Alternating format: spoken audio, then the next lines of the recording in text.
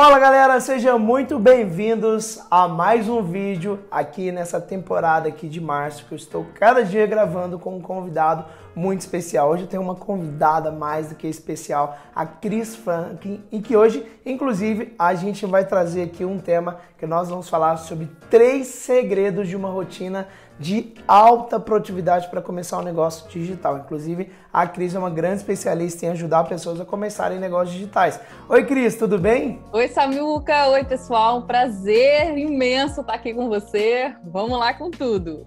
Show de bola. Cris, muito obrigado por ter aceito meu convite também. Estamos gravando aqui, galera, para o meu canal e também para o canal da Cris. Então depois você vai lá conhecer, eu vou colocar o link da Cris para você conhecer o canal dela, para você ir lá e se inscrever também e conhecer um pouco mais dos vídeos dela, beleza? Então, vamos lá. Se você já gostou do tema desse vídeo, já gostou dessa convidada também, já deixa seu curtir aqui embaixo. E caso você ainda não seja um inscrito, se inscreva aí no canal. Estamos chegando aí a 240 mil inscritos. Bora! O meu nome é Samuel Pereira e a minha missão aqui é ajudar cada vez mais empreendedores a utilizar o poder da internet e das redes sociais para assim conseguir escalar ainda mais o seu negócio, aumentar as suas vendas e conseguir ter mais tempo de qualidade com a sua família. Bom, Cris, como nós falamos, vamos ensinar a galera aqui trazer, né? Eu acho que você é uma pessoa muito produtiva, desde que eu te conheço. Nossa, eu te conheço que tem bastante tempo, né? Eu sei que você tem uma rotina muito produtiva. Hoje você lida com um time aí de mais de 30 pessoas remotas, né? Então você tem que ter uma rotina e você tem que ajudar o seu time a ter uma rotina, produtividade, mesmo seja trabalhando em casa ou trabalhando no escritório de qualquer forma, né? Então, você é uma pessoa que entende muito disso eu quero que você comece falando aí pra gente, né, qual que é um primeiro segredo aí, uma primeira rotina, né, que você aplica aí. Tá, Samuca, olha só, é, eu acho que o primeiro segredo, inclusive, é uma quebra de paradigma, que atormenta muitas pessoas. Na minha opinião, a alta produtividade, ela não está relacionada a você trabalhar muito. Eu acho que, a, eu acredito, e assim, eu vivo isso, a minha alta produtividade, hoje, principalmente hoje, como mãe, tem bebê, correria, aquela coisa toda, não está relacionado a uma carga horária excessiva de trabalho. Isso eu acho que é uma coisa que a gente, lógico, tem momentos da vida que a gente precisa, aquela coisa toda, mas não é o que direciona a alta produtividade da pessoa, principalmente numa era onde a gente está muito movido por dispersão, né? O tempo todo, é notificação, aquela coisa toda, que atrapalha muito no nosso dia a dia, quando você vê, passou o dia, você não fez nada, né? Então, a, a primeira coisa que eu quebrei na minha mente há muito tempo atrás, que hoje me traz um potencial de ter muita alta produtividade no meu dia, é essa questão. Eu não preciso trabalhar excessivamente. A minha produtividade não está relacionada a uma carga horária. Ela está relacionada a eu trabalhar de forma inteligente. Eu ter uma ordem de prioridade na minha vida. Por quê? que eu tenho uma, eu acordo Assim, eu tenho. Qual que é o segredo aqui? Eu acordo, eu tenho a minha lista de prioridades com pouca coisa. Show! Pouca coisa. Então, tipo assim, ah, não dá tempo, não adianta. Não, não, não tem como você fazer tudo. Não vai dar tempo de você fazer tudo. A lista de coisas pra gente fazer na vida nunca acaba. Ela é, é o checklist infinito. Então, Ela mais falo, aumenta do que diminui. Não, não dá. Você olha assim e fala, não, é impossível, não tem como. Então, a primeira coisa que eu falo, ó, o que, que eu vou matar hoje? Isso, isso, isso. O resto vai ser assim, se tiver como, eu faço. Mas eu acordo, eu lembro quando eu tava amamentando, a mãe, quando tá amamentando, você não... acabou o tempo. Você não tem. Você vira uma múmia, você não dorme, é a coisa toda. E assim, cara, às vezes ela dormia 40 minutos, 50 minutos, uma hora. Era o 40 minutos, 50 minutos, uma hora que eu tinha para fazer meu dia acontecer, sabe? Então, assim, depois que eu tive a Alice, aí que a produtividade aumenta, porque você quando você. E aí é, reforçou muito mais essa questão de não é a carga horária. Entendeu? Eu, se você tiver uma ordem de prioridade daquilo que você tem que fazer, partir para cima daquilo com tudo, com uhum. intensidade, sabe? Esquece o lá, esquece as coisas, deixa de um lado, bota modo avião, fala, isso aqui que eu vou fazer agora, você consegue executar aquilo de uma forma consistente. Então, esse para mim é o primeiro segredo a primeira quebra de paradigma, você entender que não é a carga horária excessiva que vai te dar a ordem de, a, a sua a, uma alta produtividade, você precisa ter uma ordem de prioridade do seu dia enxuta. De uma a três coisas, não mais do que isso, porque senão Verdade. você não vai dar conta e vai se frustrar. Olha, eu comecei a fazer mais isso esse ano numa lista, né? Eu tenho uma lista no. Eu faço no bloco de notas mesmo. Eu já tentei fazer em vários aplicativos diferentes, no Trello. Bloco de notas é vida. Você também faz no bloco de notas? Eu ia te perguntar bloco isso. Nota. Meu bloco de notas. Simplificar, né? Quando a gente complica demais, fica. E aí eu faço isso também de manhã, comecei a fazer isso. O que eu devo fazer primeiro, né? se eu matar isso aqui, tá, tipo, meu dia tá, tô me sentindo bem, né, produtivo. Então, eu ia te perguntar e você já respondeu. Você também faz no próprio bloco de notas do, do Mac ou do celular e já começa e vai embora. Fica no meu celular, Agenda Cris é o nominho da nota. E ali os, os que eu vou fazendo vai ficando lá para baixo e eu boto os pontinhos que eu tenho que fazer no dia. Show de bola, show de bola. Cris, e o segundo segredo aí da rotina de produtividade depois de elencar as prioridades? Olha, eu acho que está muito relacionado a você ter clareza do que você quer para sua vida. Então, assim, quando a gente está muito andando em círculos, a gente, a gente, não tem clareza, a gente procrastina demais. Uhum. A gente fica muito mais cansado do que o convencional. E, e, a gente tem que buscar descobrir isso. E não tá errado você não saber, você não ter clareza. A gente se culpa muitas vezes por estar tá numa fase da vida que, cara, o que, que eu vou fazer? Eu não tô conseguindo, tá complicado. Tá... E, e, e o fato de você entender isso, que você tá nessa fase assim, cara, eu preciso definir o que eu quero para minha vida, para o meu projeto, é isso aqui que eu vou fazer a partir de agora. Quando você tem essa clareza, você, você flui muito mais você produz muito mais, porque você sabe o que você quer para você.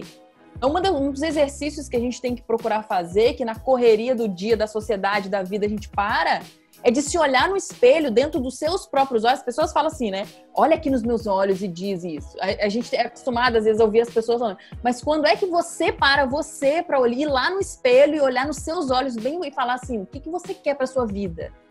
Que, exatamente o que você quer. Então, essa clareza é uma, é uma das coisas assim que sempre me deu muita alta produtividade. E todas as vezes que eu não tive essa clareza, eu entendi isso, eu identifiquei isso. Olha, eu tô numa fase que eu tô meio aqui perdida no que eu vou fazer. Não sei se eu faço isso, faço aquilo, tá meio confuso aqui para minha cabeça. E aí eu entendi que o processo de busca é uma, uma etapa de trabalho. Não é para eu me culpar. Porque às vezes a gente passa um, dois, três anos batendo cabeça sem ter uma clareza ali do que a gente vai se como a gente se encontra. Às vezes a gente perde o eixo na vida ali. Isso acontece, nós somos seres humanos, né? Quantas vezes, quantos recomeços a gente tem que ter na vida, né, Samuca? Pra gente poder é se encontrar. Isso acontece. Então, a, a, eu acho que a nossa alta produtividade está muito relacionada a essa clareza, a você ter essa conversa com você mesmo, olho no olho com você mesmo, e você entender que se você não tem essa clareza ainda, todas as vezes que eu não tive, eu me entendia por isso e eu entendia que faz parte do meu trabalho o que, que representa alta produtividade no meu momento quando eu não tenho clareza do que eu vou fazer da vida. Buscar essa clareza. Procurar essa clareza. E essa então, clareza... estou procurando, eu não estou andando em círculo, eu estou procurando, eu estou, eu estou na luta. A pessoa que está aqui vendo esse vídeo, se ela não tem clareza, ela está na luta. Ela está aqui, é. senão ela estaria mexendo no joguinho no celular, mexendo besteira, mexendo outra coisa. Ela está na luta. Então, e essa clareza traz muita, é, é, é, eleva muito o nosso poder de ação, muito. E essa clareza ajuda a elencar as prioridades no anterior também, né? Senão você, as suas prioridades estão fora dos seus objetivos, né? É, exatamente. Eu acho assim que a gente está falando aqui de três coisas, não tem nenhuma ordem específica do que é. Ah, eu acho que primeira coisa é isso, depois isso, depois isso. É o conjunto da obra, sabe, Samuca? Porque a gente tem é. que ter. Quando a gente sabe onde a gente quer chegar, Parece que o universo conspira, o universo toma providência, sabe? Então, por isso que é muito importante a gente buscar essa clareza e se entender quando a gente não tem. Se entender, porque não é errado você não ter clareza, desde que você esteja buscando por ela. Então, isso. Você também eh, gosta muito de coaching, de procurar essa ajuda de se desenvolver, né? Eu acredito que sim, né? A gente tem bastante amigos excelentes aí, né? Inclusive na sua região aí tem o Jerônimo, o GG, tem uma galera incrível. Eu acho que essa questão de você não ter plano B é muito importante. Para de querer ter plano B na vida, sabe? Eu seto meu plano A e se o meu não tem, porque se você tem plano B, aquilo te desfoca, entendeu? Ah, vou fazer isso aqui. Não é, é marketing digital, por exemplo. Você quer construir um negócio digital, você quer estar na internet, construir uma presença no digital. Isso não é pontual. Não é, é você tomar a decisão de fazer, ó, daqui por diante na minha vida eu vou fazer isso. É você colocar isso na sua vida, não é uma coisa, ah, vou fazer por três meses, cinco meses, eu vou fazer esse ano aqui, eu acho que eu vou investir nisso. Esse ano não existe. É daqui por diante na sua vida, e assim você constrói. Então, o fato de você ter na sua mentalidade que não é uma coisa pontual, você está construindo, isso também eleva muito a sua produtividade, diminui muito a sua procrastinação e principalmente a sua frustração. Porque as pessoas acham que ah, vou ficar quieta, tentei. Quantas vezes, Cris, eu tentei ali, eu tô uns três meses aqui trabalhando, não fiz nenhuma venda, não sei o que, que eu faço. Uns três meses que eu já tô. Gente, três meses. Não é questão de, de você fazer por um períodozinho, é até você começar a construir. Colocar uhum. isso na sua vida, ent entender que é um novo estilo de vida. É sabe? O digital tem que entrar na nossa vida qualquer coisa, qualquer setor que a gente defina fazer usando a internet, como um. Faz, faz, isso faz parte da minha vida a partir de agora. Faz parte do meu dia a dia. Fazer um conteúdo faz parte. Quando você começa a fazer essas afirmações para você mesmo, você desenvolve até uma paixão maior por aquilo. Então, eu acho que está muito relacionado a isso. A você ter essa clareza, a você entender que não é pontual, a você parar de ter plano B, que eu acho, eu acho que esse negócio de você ter plano B caga tudo, porque você. Qualquer merdinha que acontece aqui, você já pensa, ah, vou, vou ver ali, vou fazer outra coisa, eu acho que isso não é para mim. Então, se você não colocar outra opção, ó, é isso ou isso, aí eu acho que a sua produtividade vai lá em cima. Pelo menos para mim é assim. É uma decisão, né? Para mim foi muito assim, você falando aí, me lembrou muito quando eu tava começando no digital e que, nossa, você falou três meses, né? Eu demorei quase um ano para começar a ter resultado, é, não, sabe? Tipo... Não, desses 15 anos que eu tô na internet, os quatro primeiros anos eu só perdi. só perdi. Olha. A merdinha que eu tinha, o pouquinho que eu tinha, eu perdia. Eu arrumava um pouquinho, eu perdia. Arrumava um pouquinho, eu perdia. Perdia quatro anos. Aí os outros quatro foi assim, vendendo almoço para comprar janta. Entendeu? Aquela merreca ali, tinha hora que tinha, tinha hora que não tinha, eu tava lá. Aí depois de sete anos pra cá que eu engrenei. Só que a gente também viveu uma época que, a, que as, o, o, as, informações não eram tão compartilhadas como é hoje. Eu falo para as pessoas, hoje, para você começar no digital, o terreno, sabe? A terra tá fértil para você é plantar. O terreno é tá arado a consciência de compra online só aumenta, as pessoas estão investindo cada vez mais no digital, estão comprando cada vez mais pela internet. Então, assim, tá arada a terra para você entrar e produzir nela. É, a gente tem muito mais pessoas que estão fazendo dar certo, fazem seis e sete. Muito comum naquela época, não, não se falava, não tinha um pouco. Não. 15 anos atrás, falei para meus pais que eu ia fazer negócio de internet, eles nunca. Sei, que, que é isso? Que, não existia, entendeu? Era tudo mais difícil, Deus me livre, tudo mais difícil. É, tipo, coitada, eu imagino negócio de internet, coitado. né? Ô, Cris. Muito bom, muito bom, muito bom. Conversa.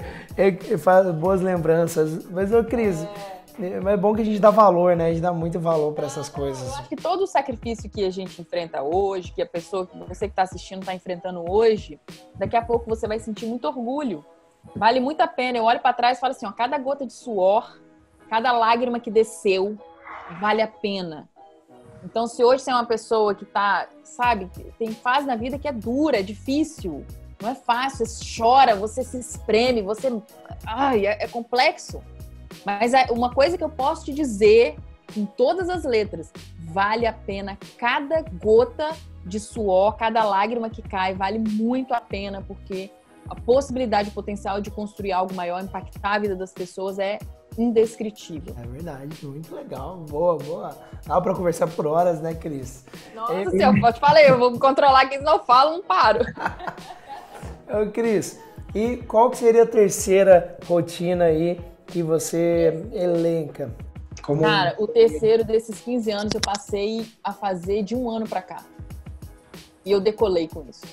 Foi assim, foi Olha, olha a cópia, olha, gostei da headline aí. Vamos... Passei 14 anos sem fazer isso. E tudo era mais difícil porque eu não fazia isso. E de um ano para cá eu passei a fazer isso. Menos de um ano, tá, Samuel? Menos de um ano. E representou, assim, um crescimento muito maior do que todos os outros anos que eu vivi. Que é uma única palavra: delegar. E quando a gente fala de delegar, aí entra assim, né? A pessoa que tá ouvindo, eu falei a palavra delegar, você começa a bombar... receber tiroteio na sua cabeça. Eu não tenho empresa, eu não tenho CLT, eu não tenho sede, eu não tenho ninguém, eu não quero contratar, eu não posso, não que. Não tem nada a ver. Delegar não tem nada a ver de você ser uma grande empresa, um grande setor, ou você ter milhões. Não tem absolutamente nada a ver. Porque hoje no digital, você tem é, funções específicas que você consegue delegar. O mercado, como eu falei, está tão fértil que você chega nesses sites de freelancer, por exemplo, e você encontra freelas. Se você pesquisar freelancer no Google, você vai encontrar um monte de site que tem um monte de freela. O Orkana.com é um, 20 pila, freelancer.com.br. Gente, nesses sites tem milhares e milhares e milhares e milhares de pessoas lá que são experts em determinadas ferramentas, em determinados setores do marketing digital e que estão ali à disposição para te servir com serviços às vezes pontuais ou com algumas horas por dia para te desencalhar. Porque quantas vezes às vezes a gente vê nessa música a pessoa não, não entrando no mercado digital, às vezes o cara tem um potencial enorme e todo mundo tem, só precisa florar isso. Ah, eu não sei fazer página. Ah, eu não sei fazer anúncio.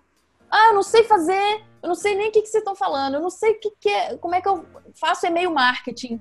E aí você entra num site desse, em meia hora, você pega um cara que é foda, não sei se pode falar palavrão aqui, mas é foda é. nisso, que tira esse gargalo, você se libera o espaço mental disso, que às vezes está anos aí, te, não sei fazer site, como é que faz uma página, o que, não sei fazer. E o cara faz e flui. Então eu comecei a entender, só que para delegar, uma das coisas que é, que funcionou muito para mim é você definir os setores. Os setores que você tem. Porque quando a gente fala de digital, você tem um setor de tráfego, tráfego orgânico. Então tem aquelas pessoas que estudam aqui com o Samuco, por exemplo, que, cara, ficam feras em tráfego orgânico. Você tem a galera do tráfego pago, você tem a galera de conteúdo, você tem mídias, você tem copy, né, que escrever as cartas de venda. Então são setores. Pós-venda, então, eu coloquei assim, eu peguei um papel os setores. Quais são os setores que eu tenho? Fiquei olhando para ele. Então, esse setor, esse setor, esse setor, esse setor, esse setor. E aí, a partir daí, eu falei, agora eu vou procurar uma pessoa que entenda desse setor, desse setor, esse aqui eu tenho pavor. Então, você, quando você vê os setores, você entende. Esse eu adoro, esse aqui eu tenho uma, uma facilidade maior, esse eu levo mais jeito, esse aqui eu tenho pavor, esse aqui eu não consigo. Porque são coisas que viram gargalo na vida da pessoa. Ela fica procrastinando anos, às vezes. Não é meses, não, gente, é anos. É verdade. E ela não quer fazer um, um, tráfego, ela não quer entrar na ferramenta de anúncios, ela não quer. Se você tem essa visão de delegar, você só precisa entender assim quanto que você quer investir, quanto que você, qual a página que você quer fazer. E dentro de delegar, quando você tem esses setores, você coloca meta e prazo. Então você chega lá, pede um freela para fazer uma página para você. Tô dando um exemplo aqui só para tangibilizar, tá? Para deixar Olha, até quando? Sempre, até quando? Você consegue fazer isso para mim em dois dias, em três dias?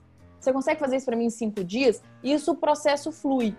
E aí você vai criando, sabe? Você vai organizando a sua cabeça. Isso tira o gargalo de tanta gente.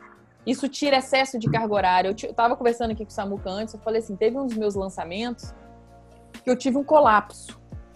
Eu tive um colapso. No, no final do lançamento, a gente terminou assim, eu falei assim, meu Deus, e foi um lançamento assim que a gente teve um resultado maravilhoso. Eu cheguei para meu sócio e falei assim: eu não tenho condições de, de, de, continuar assim, por melhor, o resultado foi massa, mas eu não tenho.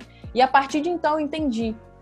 E aí que eu te falo que de um ano para cá eu comecei, eu falei: eu não, agora eu vou ter pessoas ao meu lado que vão me ajudar e a gente vai construir algo muito maior. Então, assim, e o meu crescimento ele está totalmente relacionado à minha qualidade de vida. Totalmente. Se eu começo a cansar, trabalhar demais aqui, o meu crescimento aqui, ó, faturamento vai lá embaixo. Se eu começo a ter qualidade de vida, sobra tempo no meu dia, meu, meu é impressionante, meu faturamento vai subindo. Parece que quanto mais tempo sobra no meu dia, mais eu ganho dinheiro. É uma quebra de paradigma na sociedade que a gente vive. Onde você tem que, né, trabalhar igual um louco, burro de carga, senão você não vai construir nada e tudo. Então, eu acho que a alta produtividade, para mim, hoje, não, nesse contexto bem específico, ele está relacionado a esses três pontos. São cruciais na minha vida. Show de bola, show de bola. Muito bom, muito bom, bom. muito bom. Gostei, muito bom, Cris. Muito bom. E a gente fica ouvindo e refletindo também, né? Sobre o nosso dia a dia e tal.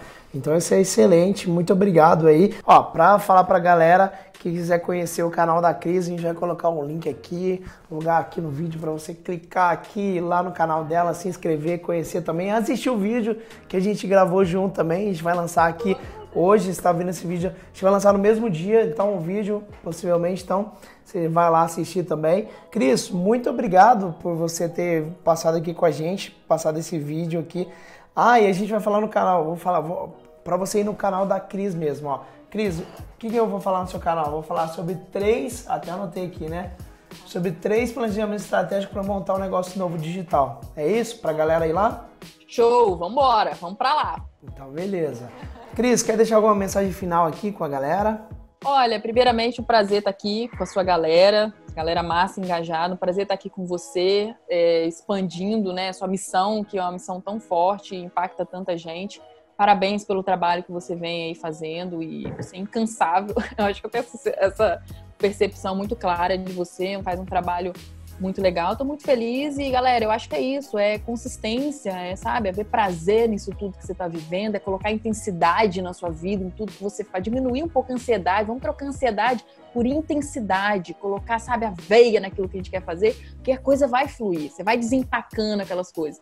Então, acho que esse nosso bate-papo aqui foi muito relacionado a isso, foi um prazer para mim estar aqui compartilhando com vocês. E agora, bora pro meu canal, que agora a gente vai falar mais aí. Cris, o prazer, o prazer é todo meu. Você é uma pessoa de alta performance que eu admiro muito, que faz acontecer. A gente conhece há bastante tempo. Isso, você é uma pessoa consistente, né? Uma pessoa que está aí sempre mandando ver, mandando bem. Então, quero te agradecer por ter vindo aqui e te também deixar essa mensagem para você aí é, da admiração que eu tenho pelo seu trabalho e pelo que você faz, tá? Você está faz um, um, trabalho de excelência aí, tá? Muito obrigado. Vamos lá então, galera. Canal da Cris.